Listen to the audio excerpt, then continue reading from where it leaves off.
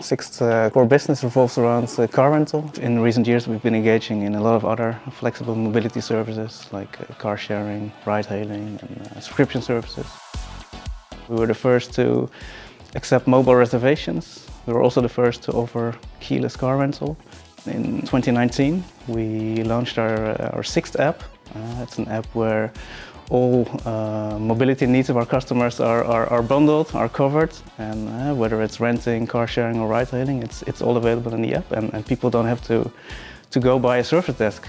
In operations, we've really been digitalizing a lot of processes, uh, making things more efficient.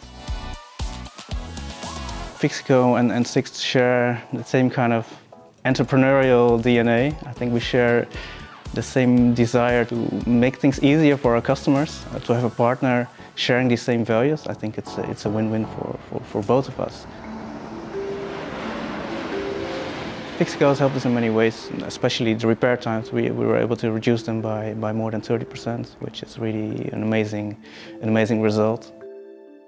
Also, efficiency-wise, I think we were able to, to standardize the way we um, communicate and, and coordinate with, uh, with our repair partners.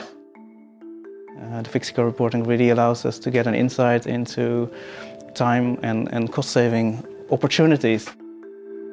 Fixico is really supportive uh, when it comes to solving uh, yeah, ad hoc challenges, like mass handling of, of repairs in very short amount of time.